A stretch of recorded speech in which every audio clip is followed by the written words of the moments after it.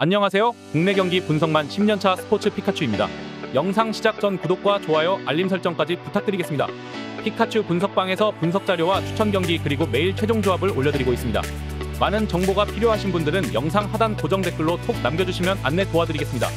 그럼 오늘 제가 생각하는 물부 분석 결론부터 말씀드리고 경기별 초안 분석 알려드리겠습니다.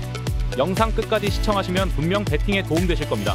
첫 번째 경기는 28일 4시 7분에 시작하는 토론토 블루 대 LA 다저스 경기입니다. 피카츄 생각 홈에서 무너졌고 단순한 1패가 아니라 5할 승률이 깨져버린 건 토론토에게 커다란 후유증을 안길 수 있는 부분이다.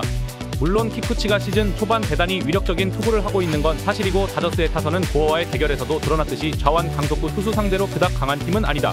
하지만 지금의 토론토 타격으로 글래스나우 공략은 어렵고 후반으로 갈수록 타력의 차이가 커질 것이다. 저는 LA 다저스 승을 생각합니다.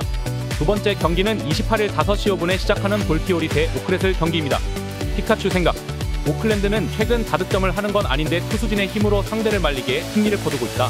대부분의 득점이 장타와 홈런으로 나오고 있기 때문에 상대하는 팀의 압박감이 큰 편이며 최근 시어스의 투구를 고려한다면 전날 오클랜드의 불펜 공략에 실패한 볼티모어의 타선도 살아나기 쉽지 않다.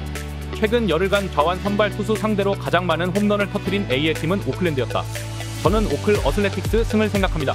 초안pick 먼저 확인하시고 추천 경기 또는 경기 조합 pick 궁금하신 분들은 하단 고정 댓글 참고해 주시거나 구독 알림 설정 해두셔야 오후 4시에 추천 조합 영상 받아보실 수 있습니다. 가끔 시간이 부족해 영상 업로드를 못하고 분석 가족방에서만 픽업해드리는 경우도 있으니 이 점 양해 부탁드립니다.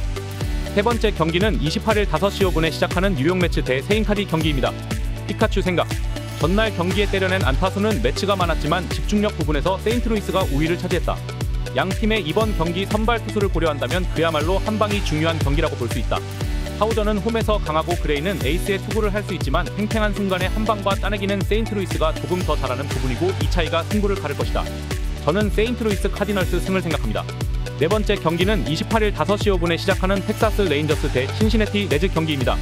피카츄 생각 이전 경기를 제외한 최근 10일 동안 신시내티의 우완 강속구 선발 투수 상대 타율은 1할 5푼이 채 되지 않는다.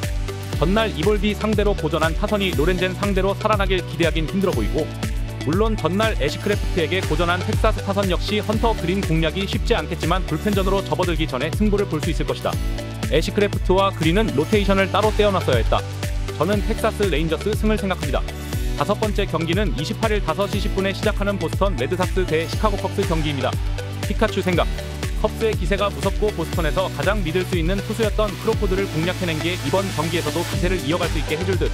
윈코스키는 아무래도 선발로서 한계가 있고 최근 보스턴의 불펜 day는 계속 실패작에 가깝다. 물론 보스턴 타선이 강속구 우완 투수에게 강하긴 하지만 벤 브라운의 위기 관리 능력은 신인이라고 할 수 없을 정도로 좋은 편이고 컵스 불펜도 제 몫을 해내고 있다. 저는 시카고 컵스 승을 생각합니다. 더욱 빠르게 경기 분석글과 올킬 pick 받아보실 분은 영상 고정 댓글 확인하시면 가족방 입장하실 수 있는 링크 남겨두었습니다. 올킬 조합 필요하신 분은 아무런 조건 없는 제 정보 소통방 편하게 들어오세요. 오늘 제 분석이 도움되셨다면 구독과 좋아요, 알림 설정 부탁드립니다. 매너 댓글 한 개씩 남겨주시면 감사하겠습니다. 뿅!